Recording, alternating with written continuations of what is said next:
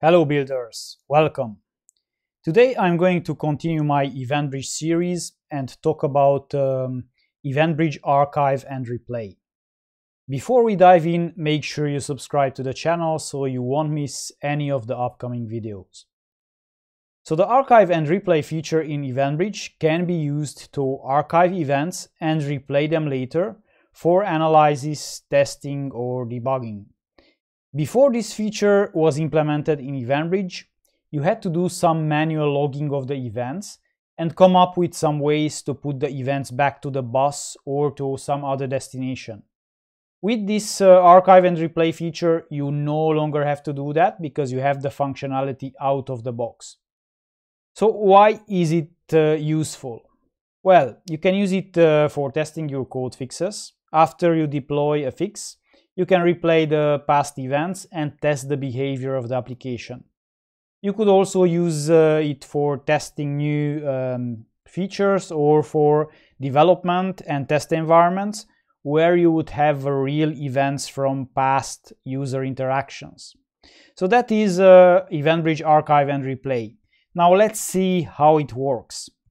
So here I am in the EventBridge uh, console uh, I already have an event bus, which I want to set up the archive for, so this orders bus. So uh, how you set up the archives, you go here to archives. It's pretty easy. You just click on create archive and let's say uh, orders archive is the name I want to use. Uh, the source will have to be my desired bus and this will be the orders bus. And how long the events uh, should be retained, I will leave it on indefinite.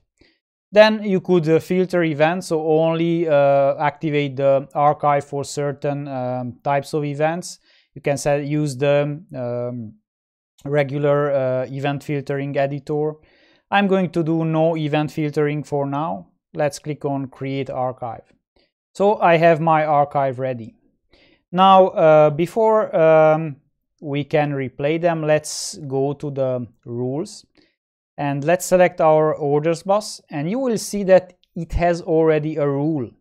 This one was just created when I set up my uh, archive. So this is a manage rule. So if you click on it, you will see that you cannot edit it or disable it. And it has an event pattern. So it will um, filter on events that have uh, the replay name uh, or the exists property is false, so it doesn't exist this replay name uh, um, property. And that is because we only want to send to the archive the, the events that uh, doesn't uh, have this replay name. So we want only to send um, uh, new events, not past events. So let's go back and create another rule here.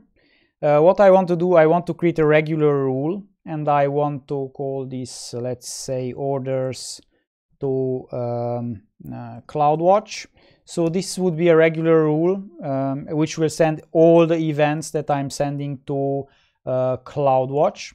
So uh, let's click on next here. Um, let's use other as the um, event source. And I'm going to uh, put in here uh, source. Should be uh, this one com majestic orders.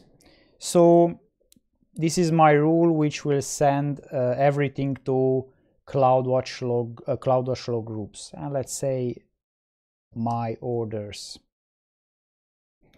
Okay click on next uh, next and uh, create the rule so now when I'm sending the, the events, all of them will be sent to these uh, orders to CloudWatch. And then what I want to do is replay them later.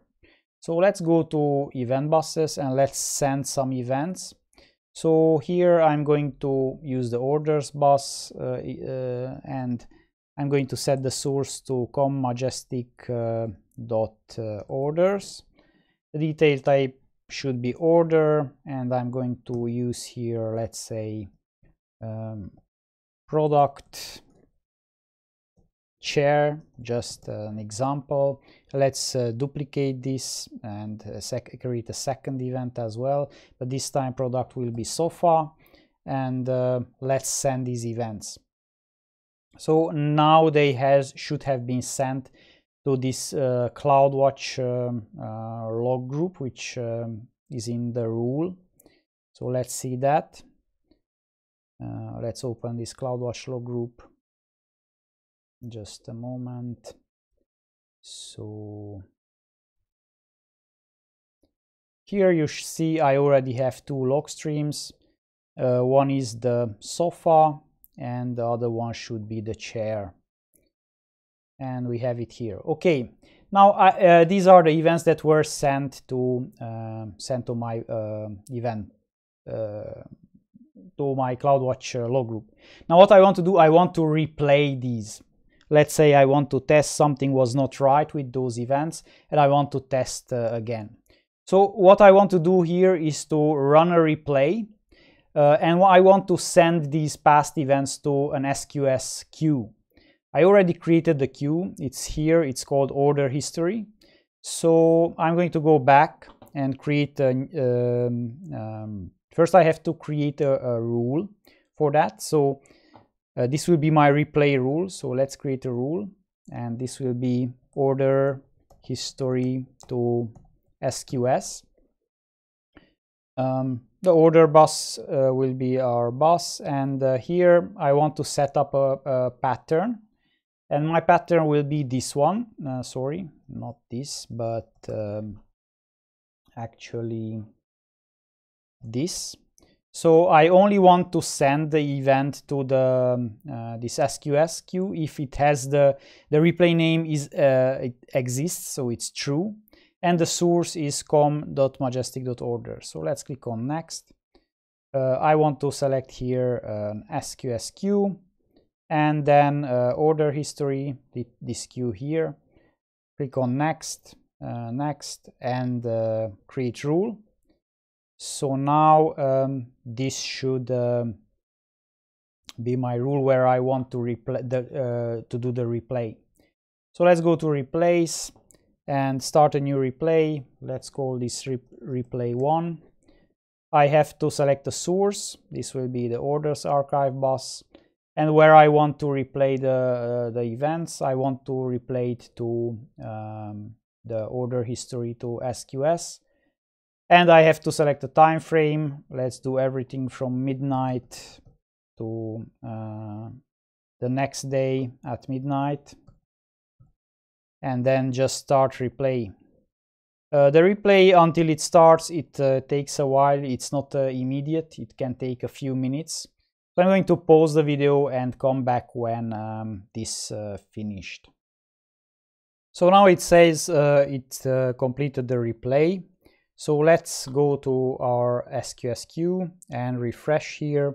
And you see I have two messages available let's go to our order history uh, um, queue and click here send and receive messages and then poll for messages and I should get two messages uh, the one uh, one is product chair and the other one is product sofa.